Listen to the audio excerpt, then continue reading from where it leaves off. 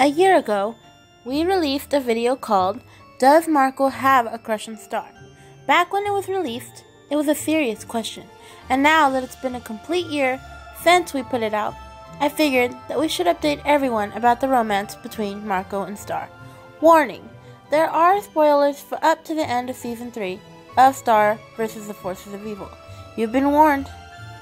Turns out that Marco has a crush on Star. This was first made clear in the episode Lava Lake Beach, where Tad, Kelly's ex boyfriend, somehow made Marco come to the realization that he loved her all along just by saying, Dude, you've got the hots for your best friend. I think that in sophomore slump, Jackie realized this too, and she broke up with him, knowing he'd be happier with Star Muni. It kind of felt unnatural how Marco just suddenly got this huge crush on Star out of nowhere but it's actually common for people to realize their true feelings for someone only after they're no longer available. This could have been the case for Marco, who only realized he liked Star when she started going out with Tom.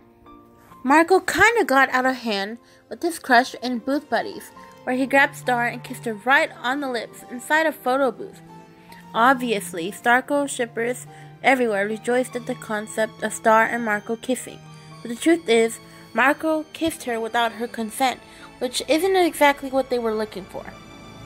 So, while they did kiss, Starco is not canon, since Tom and Star are still going out. However, if April's Tom Star breakup clip leak is actually real, which is 90% possible, Star and Marco could be together at last in the future. For now, we know that Marco has a crush on Star. The big question is whether or not Star has a crush on Marco. But since it's clear that she did in season 1 and 2, it's not really a question worth the full video. In my personal opinion, I think Star initially returned to Tom only because she felt that Marco didn't feel the same way she felt about him. After the inevitable breakup between her and Tom, she'll likely turn to Marco, making Starco a reality.